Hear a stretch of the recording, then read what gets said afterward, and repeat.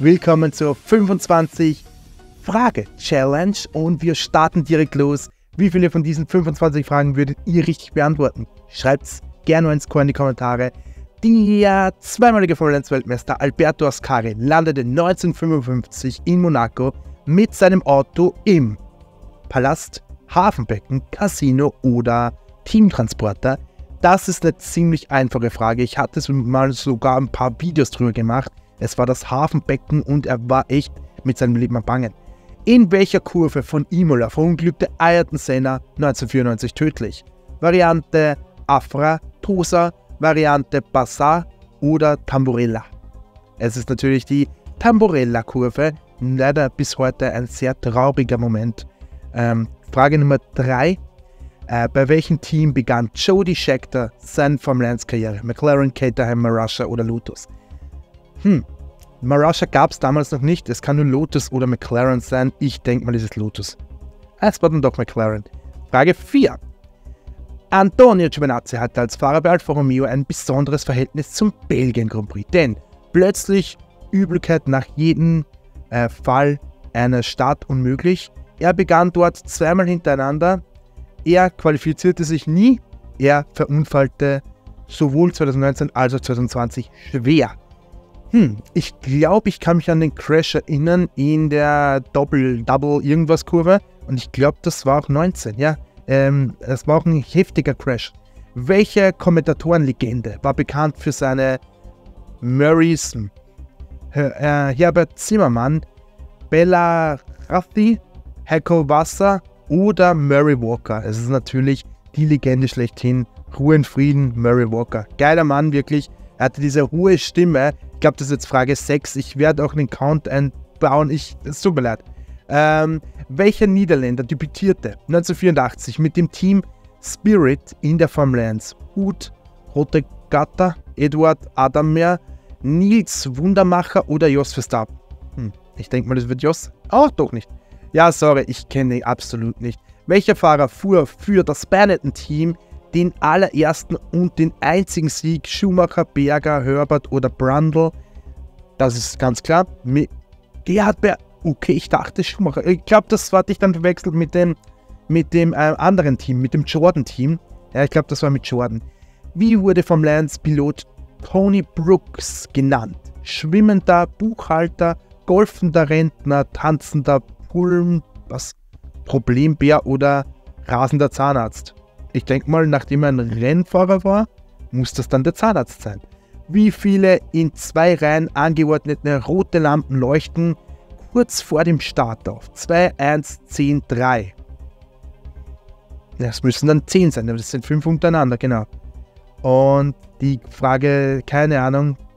Ja, ich hätte mal auf äh, Zurücksetzen drücken sollen. Aber ich denke, ich gehe mal davon aus, dass wir jetzt mindestens 10 haben. Welche Flaggenfarbe signalisiert den Abbruch eines Rennens? Rot, Blau, Grün, Weiß. Ähm, Blau ist überrunden, Grün ist safe, Weiß weiß sich nicht, Verwarnung, Black, White und Rot ist natürlich der Abbruch oder die Unterbrechung. Auf welcher Strecke kam Elio De Angelis 1966 beim Testfahrt ums Leben? Watkins Glen, Imola, Le Castellet oder Zanfort? Ich kenne ein paar Geschichten von Watkins Glen, bin mir aber da auch nicht sicher. Ich nehme jetzt mal Watkins Glen, es war Le Castellet. Es ist schwierig, ja, es ist wirklich. Zum wievielten Mal wurde Michael Schumacher 2001 Weltmeister? Ähm, U90? Also 2001, 2, 3 und 4. Das heißt, zweites Mal. Zum vierten, zum fünften, zum zweiten. Zum vierten. Ach, ich trottel, das war 2001. Ah, das war dumm von mir. Wie alt war Graham Hill, als er zum ersten Mal Formel 1 Weltmeister wurde? 28, 20, 33, 30. Ich weiß, dass die damals wirklich viel, viel älter waren als die jetzigen Fahrer, weswegen ich 33 nehme. Und das ist richtig. Äh, in welchem Bundesland liegt der Nürburgring? Bayern, Saarland, Rheinland-Pfalz oder Bremen? Ich bin kein Deutscher, ich glaube es ist aber Rheinland-Pfalz.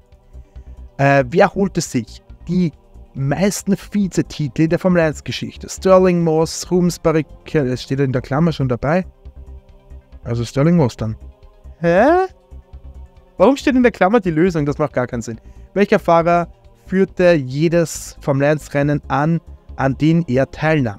Winkelhock, Marquez, Alain Prost, Ayrton Senna. Die beiden können sie nicht sein, weil die waren ja in einer Epoche, in einer Epoche, wo ja beide äh, gegeneinander gefahren sind. Also wahrscheinlich einer von beiden und der ist nur ein Rennen oder so gefahren. Ich nehme mal ihn hier. Ich habe keine Ahnung. Super, das stimmt, okay. Welcher deutsche Motorsportfamilie brachte je drei Fahrer in die Formel 1? Winkelrock und Schumacher, Danner und Frenzen, Hetfeld und Glock. Ja, es muss dann eigentlich Winkelrock und Schumacher sein. Ja. Kimi Räikkönen musste bei den letzten Saisonrennen 2013 passen, wegen Schmerzen im Bein, Rücken, Hals, am Blinddarm im Rücken. Er war auch schon ein bisschen älter damals, muss man sagen. Wir sind jetzt hier schon bei der neunten Frage, sprich, wir sind ganz knapp davor. Welches Unternehmen entwickelte den erfolgreichen TAC-Turbomotor aus dem Jahr 1980? Es ist Porsche. Ja, ja, es ist Porsche. Tag Heuer und so weiter. Also, das ist. Bei welchem Grand Prix feierte Michael Schumacher am 28.06.1998 seinen 30. Grand Prix-Sieg? Deutschland, Belgien, Großbritannien, Frankreich. Belgien wird passen, aber was sagt ihr? Ich nehme mal Belgien. Es war Frankreich. Ich wusste, Manikou wahrscheinlich, das war auch seine Top-Seller-Strecke. Der Grand Prix von Kanada 2008 bescherte den ersten und einzigen Sieg von Hertfeld Kubica. Ja, Kubica.